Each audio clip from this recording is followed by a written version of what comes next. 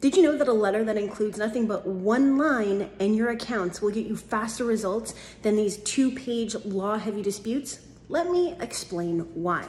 You see, those law heavy letters are normally written by credit repair companies in an attempt to force the credit bureaus to do things. And it does nothing other than notify the credit bureaus that it is a credit repair company. And under FCRA 611G, credit repair exclusions, they're just going to ignore it, right? Or under Section 623, same credit repair exclusions, right? Now, what if you sent a very simple, these negative items or these inaccurate items, whatever items or these accounts that are in violation need to be removed and just listed your accounts. Uh, but it's not just listing your accounts, right? Because there's a very specific way that you have to list them and certain things that you have to say that's going to get it removed. Because you can't just say, delete these accounts, this one, this one, this one, this one, this one. No, you need to say after that one line that says delete these accounts for inaccuracy or violation, the creditor name, the account number, and there's a very specific formula for this.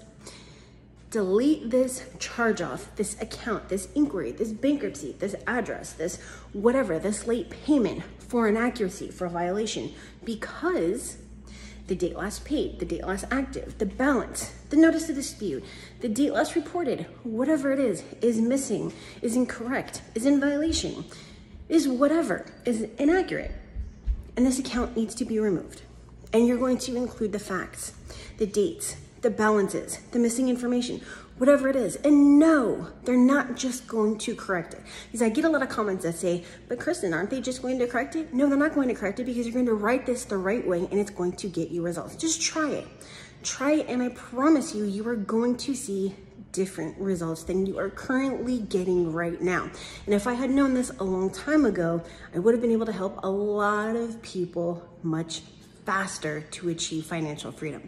All right, but if you wanna see if I can personally do a credit sweep for you, because I know this formula, I coined it, I created it, it's gotten me results, then head over to my740.com, schedule a call with me, and I will see if I can personally do the credit sweep for you. All right, so I'll see you later.